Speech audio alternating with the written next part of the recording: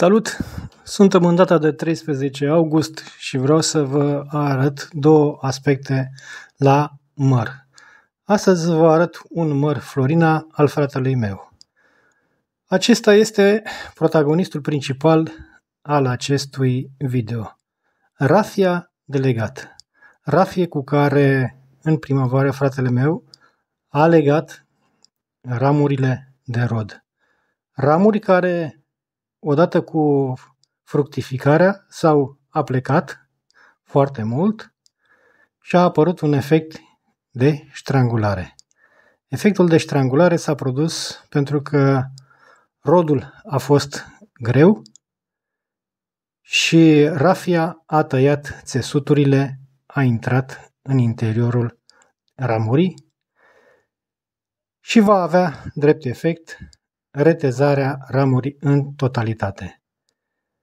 După cum se vede, acest soi de măr florina are producție abundentă pentru că primește și nutrienții de care are nevoie. Vedem că au apărut și ceva uh, daune produse de viespi, dar cel mai important, astăzi vreau să vă arăt efectele pe care le produce rafia sforile pe care le folosim sunt uh, neadecvate pentru că nu au elasticitate și strangulează ramurile.